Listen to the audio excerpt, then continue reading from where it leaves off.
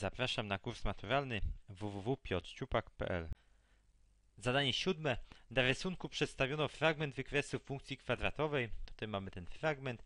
Funkcja f jest określona wzorem. No to Proszę Państwa, sugeruję najpierw zacz przeanalizować tę funkcję. Co my tutaj widzimy? Widzimy na pewno, że miejscami zerowymi jest liczba 3, bo tutaj jest punkt przecięcia osi x i jest liczba minus 1, bo tutaj też jest punkt przecięcia osi x. Ponadto co wiemy? Wiemy, że ramiona tej funkcji idą do dołu, czyli współczynnik a, który decyduje o kierunku ramion funkcji, musi być mniejszy od zera. No i teraz zobaczmy, najpierw znajdźmy te funkcje, gdzie mają współczynnik a ujemny. No tutaj widzimy, że współczynnik A jest ujemny, bo to jest minus 1 druga. I tutaj jest ujemny współczynnik A, bo jest minus 1 druga. No to mamy już dwóch kandydatów do odpowiedzi. No i teraz miejsca zerowe. Sprawdźmy, jakie są miejsca zerowe w odpowiedzi C. Co robię w takich sytuacjach? Przyrównuję do zera nawiasy. Czyli x plus 3 równa się 0, x równa się minus 3, natomiast w drugim nawiasie mamy, że x minus 1 równa się 0, czyli x musi się równać 1, jak przerzucę na drugą stronę, to zmieniam zawsze znak. No i zobaczmy, że akurat ta odpowiedź nie pasuje, bo na naszym rysunku miejscami zerowymi jest 3 i minus 1, a tu nam wyszło minus 3 i 1. No to sprawdzamy odpowiedź D.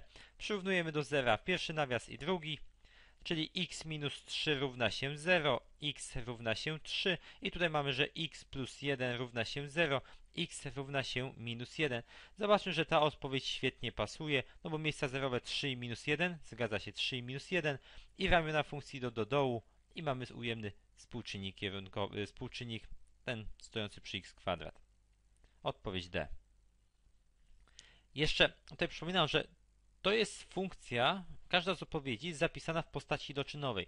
Funkcja kwadratowa w postaci iloczynowej wygląda w następujący sposób. To jest f od x równe a x minus x1, x minus x2, gdzie x1 i x2 to są miejsca zerowe. No to zobaczmy, skoro u nas miejscami zerowymi jest minus 1 i 3, no to jakbym wstawił, no to co bym otrzymał? Otrzymałbym f od x równa się a i będzie x minus minus 1, czyli x plus 1, a w drugim nawiasie byśmy mieli x odjąć 3.